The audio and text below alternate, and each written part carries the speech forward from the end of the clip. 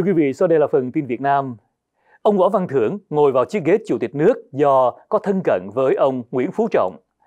Trong lúc báo chí ở Việt Nam đưa tin úp mở cho rằng Trung ương Đảng giới thiệu nhân sự để bầu vào chức vụ chủ tịch nước Việt Nam mà không nêu đích danh ai, thì hãng tin Reuters của Anh Quốc vào hôm 1 tháng 3 xác nhận rằng ông Võ Văn Thưởng là thường trực ban bí thư sẽ ngồi vào chiếc ghế này. Như vậy, theo quy trình, hai chữ trong ngoặc kép, thì ông Võ Văn Thưởng sẽ được các đại biểu Quốc hội của Việt Nam nhất trí, cũng trong ngoặc kép, bầu chọn với đa số phiếu trong phiên họp bất thường dự kiến sẽ diễn ra vào ngày 2 tháng 3. Hãng tin Reuters cho biết thêm, họ có ít nhất hai nguồn tin xác nhận việc ông Võ Văn Thưởng, năm nay 52 tuổi, là ủy viên trẻ nhất của Bộ Chính trị, được thay thế chiếc ghế của ông Nguyễn Xuân Phúc vì là người thân cận với ông Nguyễn Phú Trọng, Tổng Bí thư. Bản tin cho biết thêm, vị trí chủ tịch nước ở Việt Nam phần lớn mang tính nghi lễ mà thôi, thế nhưng là một trong tứ trụ, cùng với Tổng Bí thư, Thủ tướng và Chủ tịch Quốc hội. Riêng ông Carl Thayer là chuyên gia về chính trị Việt Nam tại Học viện Quốc phòng của Úc, được hãng tin Reuters trích dẫn lời nói như sau. Từng là trưởng ban tuyên giáo trung ương, ông Võ Văn Thưởng là một nhân vật có thâm niên trong bộ máy đảng và là một nhân vật thân tín của Tổng bí thư Nguyễn Phú Trọng. Một số giới chức ngoại giao ẩn danh tại Hà Nội nói với hãng tin Reuters rằng họ thấy việc đề cử ông Võ Văn Thưởng làm chủ tịch nước là những quyết tâm nhằm thăng chức cho một thế hệ lãnh đạo mới và giữ vững quyền lực trong trường hợp Tổng bí thư 78 tuổi quyết định rời ghế trước khi kết thúc nhiệm kỳ thứ ba vào năm 2026. Ông Võ Văn Thưởng có bằng cấp thạc sĩ về triết học Mark Lenin và là đảng viên trẻ tuổi nhất được vào Bộ Chính trị từ Đại hội Đảng năm 2016. Kể từ khi gia nhập vào Đảng Cộng sản Việt Nam vào năm 1993 cho tới nay, hầu như các chức vụ mà ông Võ Văn Thưởng nắm giữ đều nằm trong hệ thống của đảng, của đoàn, không thấy các chức vụ hành chánh của nhà nước bệnh nhân đổ xô đi xin mổ bởi vì bệnh viện ở Hà Nội thiếu vật tư y tế. Sáng ngày 28 tháng 2, hàng trăm bệnh nhân chen lấn tại khu vực khám bệnh của Bệnh viện Việt Đức để chờ đợi đến lượt, mong được xếp lịch để mổ sớm. Vì lo sợ sẽ không kịp khi nơi này thông báo hạn chế giải phẫu do thiếu vật tư y tế kể từ ngày 1 tháng 3. Tại khu khám chuyên khoa chấn thương chỉnh hình hay khu cột sống, các bệnh nhân đều chung đều chung một tâm lý, đó là lo lắng không được mổ. Nhiều người nhà bệnh nhân chia sẻ rằng bình thường đi khám, có chỉ định mổ thì cũng phải chờ trung bình một tuần. Nay bệnh viện còn hạn chế thì không biết đến khi nào mới đến lượt. Một bác sĩ không muốn nêu tên cho biết buồn vì điều chưa bao giờ xảy ra là bệnh viện phải hạn chế lịch mổ theo kế hoạch để dồn vật tư y tế cho các bệnh nhân nặng và bệnh nhân cấp cứu. Cả trăm bệnh nhân đang xếp hàng chờ mổ, lịch đã lên đến cuối tháng 3. Giờ tất cả phải hoãn lại, một bác sĩ khác cho biết và bày tỏ sự ái ngại khi gọi điện thoại báo cáo những bệnh nhân của mình hoãn nhập viện. Trường hợp nhập viện vẫn đến khám và yêu cầu mổ, bác sĩ sẽ giải thích cho bệnh nhân hiểu về tình hình của bệnh viện. Nếu bệnh nhân chấp nhận chờ, bệnh viện sẽ xếp lịch khi có hóa chất và vật tư y tế. Việt Đức là bệnh viện chuyên khoa hạng đặc biệt của Bộ Y tế Việt Nam, trung tâm ngoại khoa hàng đầu khu vực phía Bắc. Từ năm ngoái cho đến nay, bệnh viện này thực hiện hơn 79.000 ca mổ. Ngoài ra, mỗi ngày, bệnh viện có khoảng 2.000 bệnh nhân đến khám và điều trị và chờ giải phẫu.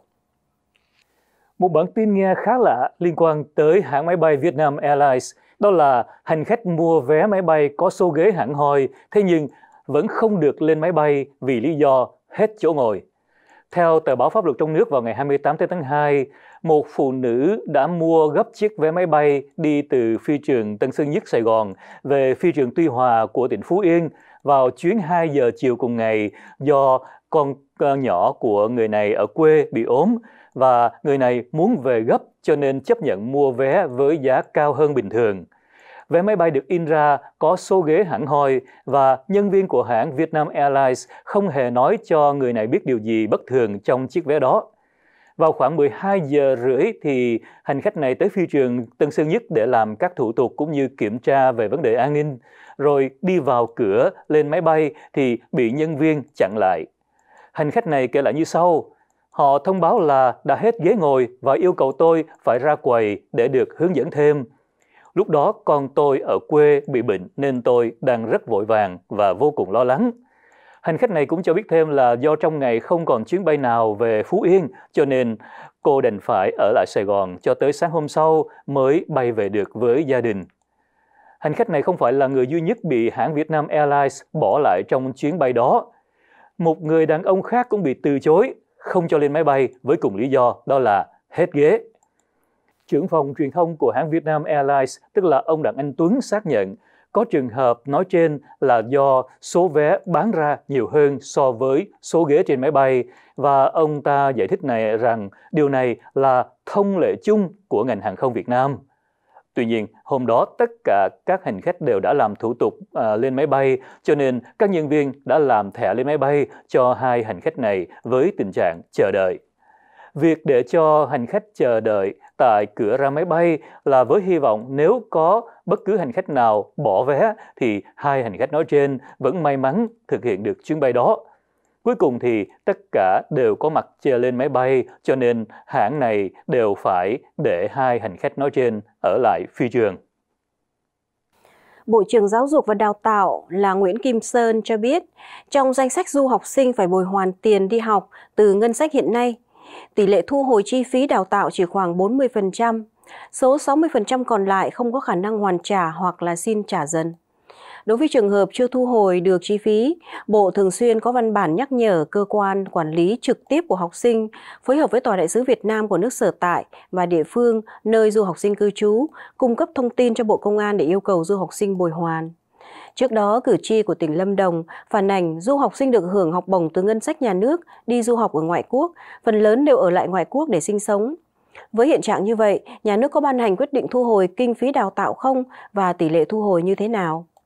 Bộ trưởng Nguyễn Kim Sơn đề nghị quan chức Việt Nam bổ sung quy định cho phép du học sinh hoàn trả chi phí theo nhiều đợt, đồng thời bổ sung thêm việc xử phạt đối với trường hợp không chấp hành quyết định và bồi hoàn chi phí đào tạo.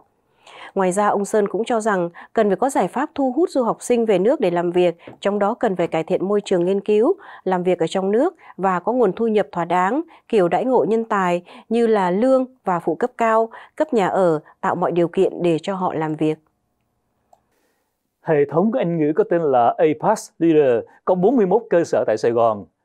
Trước Tết Nguyên đán thì trung tâm này thông báo với Sở Giáo dục Đào tạo Sài Gòn là sẽ đóng cửa 25 cơ sở, còn 14 cơ sở khác sẽ được chuyển địa điểm. Thế nhưng cho tới nay, gần như các cơ sở này đã bị đóng cửa. Gần 2 năm nay, những vụ lùm xùm liên quan tới hệ thống Anh ngữ APAS Leader liên tiếp gây được sự chú ý trên báo chí và qua các trang mạng xã hội. Nhiều phụ huynh đã tố là đơn vị này không dạy học đúng cam kết về số lượng giờ học. Hàng ngàn phụ huynh đóng tiền cho con em của họ ở các cơ sở của hệ thống Anh ngữ nói trên vẫn đang miệt mài đòi lại tiền lên tới hàng tỷ đồng.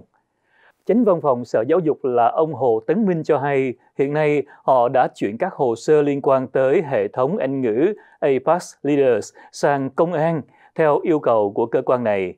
Sở Giáo dục Đào tạo tại Sài Gòn từng khẳng định nếu Trung tâm Anh ngữ APAS Leaders có dấu hiệu lừa đảo thì họ tổ chức dạy và học không đúng quy định.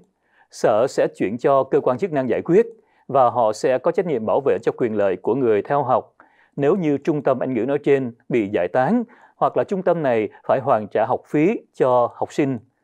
Tuy nhiên, các vấn đề khác liên quan tới thỏa thuận học phí giữa trung tâm với các em học sinh thuộc về vấn đề dân sự, không thuộc về quyền giải quyết của Sở Giáo dục về vụ bé trai bị lọt vào ống cọc bê tông ở Đồng Tháp không có dấu hiệu tội phạm. Bà Lê Thị Kim Loan là trưởng ban tuyên giáo của tỉnh ủy Đồng Tháp cho biết là lãnh đạo của tỉnh Đồng Tháp đã yêu cầu Sở Giao thông Vận tải, ngành công an và địa phương của huyện Thanh Bình cùng tập hợp cung cấp thông tin đầy đủ về vụ việc bé Hạo Nam bị lọt vào ống cọc bê tông và tử vong. Về kinh phí tổ chức cứu trợ, hiện tỉnh đang thống kê lại những đơn vị tham gia hỗ trợ trong quá trình cứu trợ bé. Qua vụ việc, lãnh đạo tỉnh cũng rút kinh nghiệm, thừa nhận là lúc đầu có lúng túng do vụ việc xảy ra bất ngờ, chưa có tiền lệ. Mặc dù xử trí nhanh nhưng tai nạn phức tạp nên không thể cứu sống được cháu bé. Đây cũng là bài học trong thực việc thực hiện các công trình dự án phải lưu ý đến an toàn lao động trong vận hành cơ chế khi xử lý một tình huống, một vấn đề nào đó. Thượng tá Trần Trung Quốc là trưởng phòng tham mưu công an của tỉnh Đồng Tháp cho biết, qua điều tra, xác minh, cơ quan cảnh sát điều tra xác định đây là vụ tai nạn lao động không có dấu hiệu tội phạm nên không khởi tố vụ án. Tuy nhiên, đại diện Công an Đồng Tháp đồng thời cho biết thêm vụ việc cũng có một phần lỗi của đơn vị thi công. Vâng, tiếp theo phần tin Việt Nam. Theo bản phúc trình của Viện Kiểm sát huyện Cai Lậy của tỉnh Tiền Giang, trong lúc điều tra một công ty luật đi đòi nợ thuê ngay tại khuôn viên của một trường tiểu học có tên là Phan Văn Kiều, thì các giới hữu trách tại đây đã xác định công ty luật pháp Việt ở quận Bình Tân, Sài Gòn đã thực hiện nhiều hành vi đe dọa, khủng bố nhằm đòi nợ thuê, cưỡng đoạt tài sản xảy ra tại tỉnh Tiền Giang và nhiều tỉnh thành khác ở Việt Nam. Ngân hàng thuê công ty luật pháp Việt đi đòi nợ vay đó là Ngân hàng Phương Đông Hồi tháng 7 năm ngoái, ngân hàng này đã chuyển hợp đồng vay 50 triệu đồng, tương đương 2.100 Mỹ Kim, của một người có tên là Bi ở huyện Cai Lậy cho công ty luật pháp Việt để đòi nợ thuê, bởi vì anh Bi đã không có khả năng chi trả số tiền vay nói trên. Khi cầm hợp đồng trên tay, nhóm nhân viên 14 người của công ty có tên là Luật pháp Việt do nghi can Nguyễn Thanh Hải làm trưởng nhóm đã chỉ thị các thuộc cấp là nghi can Hà Thị Hiệp trực tiếp đòi nợ anh Bi. Để thu hồi nợ thì thời gian đầu, nghi can Hiệp đã điện thoại đe dọa đòi giết con cái rồi người thân của anh Bi. Khi bị đe dọa nhiều lần, anh Bi sợ quá nên đã trả cho ngân hàng Phương Đông 10 triệu đồng, tương đương 421 Mỹ Kim. Số tiền nợ ngân hàng còn lại vì anh Bi chưa trả được cho nên nhóm nhân viên này đã dùng nhiều thủ đoạn khác nhau để truy tìm thông tin người thân của con nợ để tiếp tục đe dọa.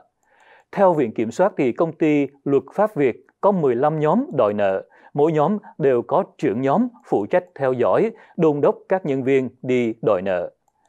Công ty này trả lương cho nhân viên 6 triệu đồng, tức là 252 Mỹ Kim một tháng, và nếu đòi được nợ thì sẽ nhận được tiền thưởng. Vụ án này có dấu hiệu của tội khủng bố và cưỡng đoạt tài sản. Mỹ Khê lọt vào top 10 bãi biển đẹp nhất châu Á.